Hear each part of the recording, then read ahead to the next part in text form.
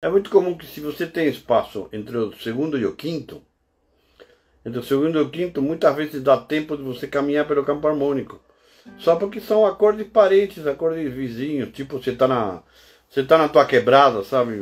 Você fala, e aí, beleza? Tudo nego que não vai te falar nada. Ó, eu tava no 2 indo pro 5. Na, fiz o 3, fiz o 4, na. E aí cheguei no quinto. É, é muito comum. Principalmente entre o 2 e o 5. Você se, tem, se tiver tempo, dá tempo de empurrar o, o 3 e o 4. Muito comum, né? Acontece muito.